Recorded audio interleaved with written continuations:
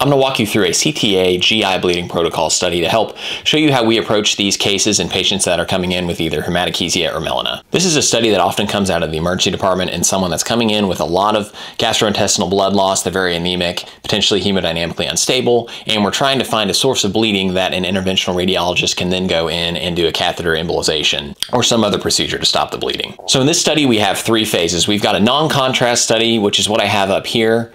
We've got an arterial phase, which I'm pulling up now. In the arterial phase, the contrast has been injected, and then you image within the first minute, usually about 45 seconds after you inject, to time the contrast while it's actually in the aorta and the branch vessels. Then you have a delayed phase that's obtained sometimes after. And I'll explain why we have the arterial phase, why we have the delayed phase, and why we do the non-contrast. So when I pull up this study, I first think about the clinical history that I'm given. Is this melena or is this hematochezia? If it's melena, I'm thinking something higher, like stomach, proximal small bowel. If you're getting a history of hematochezia, I think more colon first, just like a diverticular bleed or angiodysplasia being very common causes of lower GI bleeding in the colon. But there is obviously some overlap. Sometimes you can have hematochezia from a very brisk upper GI bleed and nothing's ever 100% in medicine.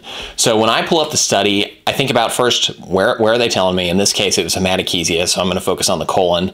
And I'm in the arterial phase, and this is actually where I start. And what you're looking for is a blush of contrast in the lumen of the bowel. And that is indicative of active extravasation or an active arterial bleed.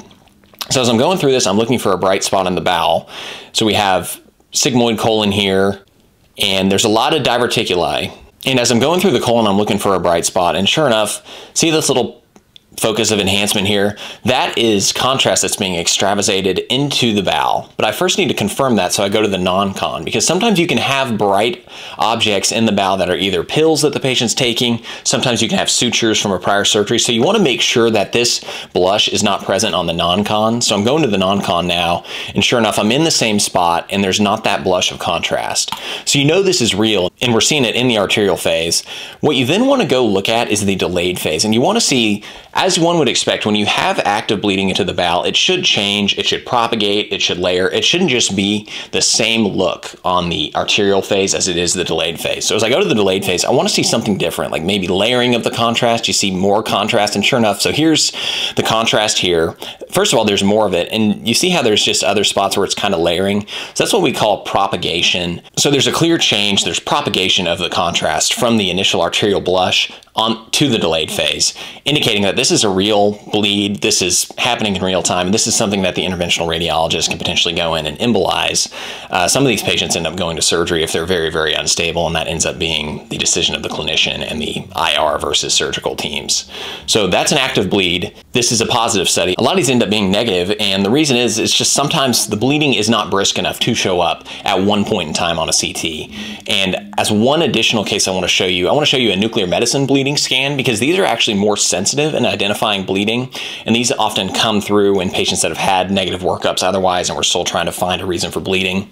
And it's kind of the same idea. And I, hopefully after showing you this case, it'll make sense. So in a nuclear medicine GI bleeding study, you get the red blood cells, tag them with a radionuclide, and then image the abdomen. And you do dynamic imaging, meaning you're not just imaging at a point in time, you're imaging over an hour, for instance, and looking for any extravasation of the radio-labeled red blood cells into the GI lumen abdomen. So this is what I have pulled up here, and I want you to focus on the left abdomen, and we already see a little focus of activity here, and as I scroll, watch how it changes.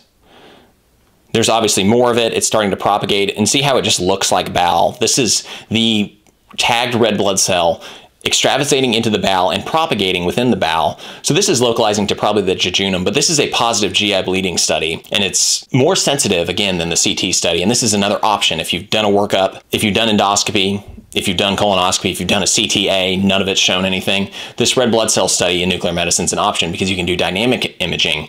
You can image over a period of time and obtain those images not at just a single time point, and it's much more sensitive in detecting GI bleeding. And again, this is a nice example of a positive study. One final thing I'll add, anytime you're in a nuclear medicine study, you do this imaging first, but you always have SPECT CT that you can add on and help localize activity. So suppose we saw something in the left upper quadrant, we weren't sure if it was in bowel. This I think is clearly bowel, but you can do a CT to correlate the findings you're seeing. So here we have a SPECT CT pulled up, and this can help you localize the activity. So what I showed you in the left upper quadrant that was propagating, Here it is here in the bowel, and this hot stuff here is just the radio-labeled RBCs in the bowel, and this is helping you confirm that, okay, this is a bowel hemorrhage, because sometimes you can have something in like the retroperitoneum that can look like it's in the bowel, but if you're not sure, you can do this SPECT CT. In this case, we're localizing the radiotracer activity. It's clearly in the small bowel here, specifically the jejunum. So this is really a beautiful example of a positive GI bleeding study in nuclear medicine. Okay, that's all I got. Thanks for watching. Hope it was helpful. See you next time.